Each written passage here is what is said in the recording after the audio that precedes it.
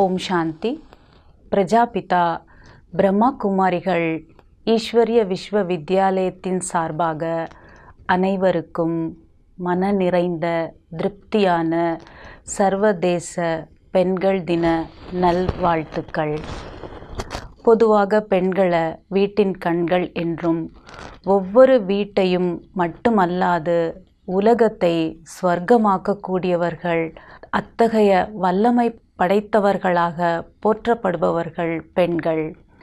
முப்பத்தி மூன்று சதவிகிதம் மட்டுமல்லாமல் ஐம்பது சதவிகிதத்தை பெண்களுக்காக ஒதுக்கப்பட வேண்டும் என்று எதிர்பார்க்கும் இந்த நேரத்தில் நான் ஒரு மகிழ்ச்சியான செய்தியை உங்கள் அனைவரிடத்திலும் பகிர்ந்து கொள்ள விரும்புகின்றேன்.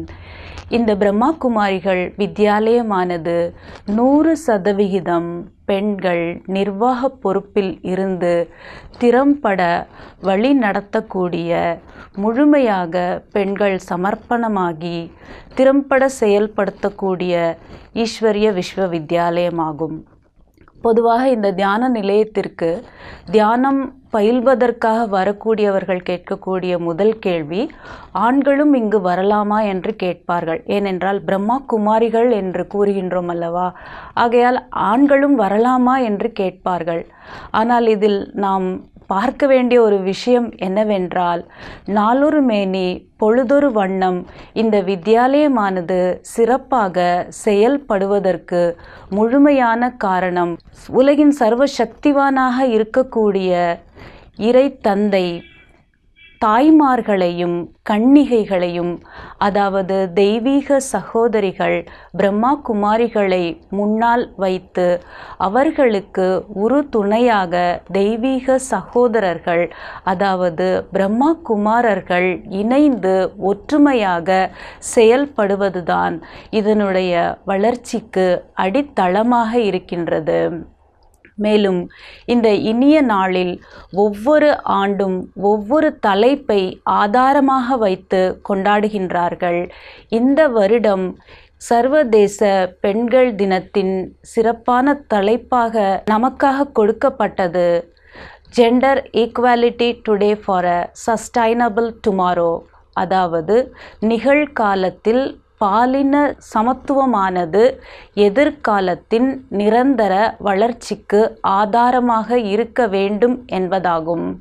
இந்த கருத்தை எண்பத்தி ஆறு ஆண்டுகளுக்கு முன்னதாகவே ஞானக்கடல் மூன்று உலகத்தையும் மூன்று காலத்தையும் நன்றாக உணர்ந்த சர்வ வல்லமை படைத்த இறைவன் பிரம்மா குமாரிகளுக்கு ஆன்மீக கல்வியாகிய ஆத்ம பார்வையை கற்றுக் கொடுத்துள்ளார். இதன் மூலமாக அனைவரையும் நாம் ஏற்றத்தாழ்வுகள் இல்லாமல் மேலும் நாம் அனைவரையும் ஆத்மா ஆத்மா என்று பார்க்கக்கூடிய ஆன்மீக பார்வையை கற்பதன் மூலமாக அழகாக சமத்துவத்தை இந்த உலகத்தில் நாம் கொண்டு வர முடியும் என்பதை ராஜயோக கல்வியானது தியானத்தின் மூலமாக சிறப்பாக எடுத்துரைக்கின்றது. இந்த வித்யாலயத்தின் முக்கியமான கருத்து என்னவென்றால் உலகம் ஒரு குடும்பம். நாம் அனைவருமே அதில் இறைவனுடைய அன்பான இனிமையான தெய்வீகமான குழந்தைகளாக இருக்கின்றோம். இந்த பார்வையில் நாம் அனைவரையும் பார்க்கும் பொழுது நம்மிடம் நம்முடைய நடத்தையும் தோற்றமும் அன்பு மிக்கதாக ஆன்மீகம் நிறைந்ததாக நமக்குள் உருவாக்கி கொள்ள முடியும். உமன் என்றாலே விஸ்டம் ஆஃப் மென் என்று கூறுவார்கள். அதாவது இப்பூ உலகில் ஆண்களை பெற்றுத் தருபவர்கள் பெண்கள். நீங்கள் பொதுவாக பார்த்தீர்கள் என்றால் இன்று கல்வித்துறையில் முன்னோடியாக இருப்பவர்கள் ஆண்களாக இருந்தாலும் நாம் ஒவ்வொரு கல்வி கூடங்களில் பார்க்கும் பொழுது ஞான வீணை மீட்பவராக கல்வி தாயாக நாம் கலைமகளை சரஸ்வதி தாயை முன்னால் வைக்கின்றோம்.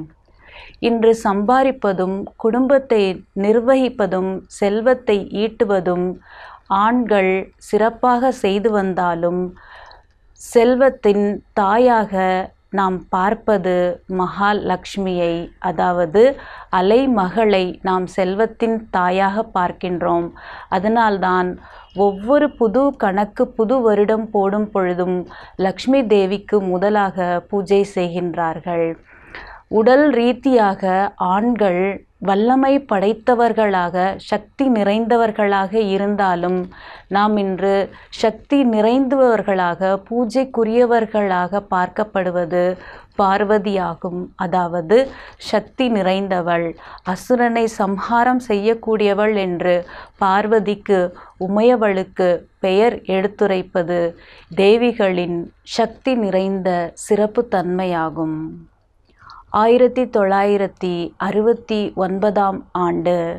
இந்த வித்தியாலயத்தின் ஃபவுண்டர் ஃபாதராக இருக்கக்கூடிய பிரஜாபிதா பிரம்மாவானவர் அவ்வியக்தம் ஆன பொழுது அனைவருமே இந்த வித்தியாலயமானது இருக்கும் சுவடு தெரியாமல் மறைந்துவிடும் என்று நினைத்த நேரத்தில் இந்த வித்தியாலயத்தில் தாதி பிரகாஷ்மணிஜி அவர்கள் ஐக்கிய நாடுகள் சபையில் ஆலோசனை அங்கத்தினராக பங்கேற்று சிறப்பை செய்துள்ளார்கள்.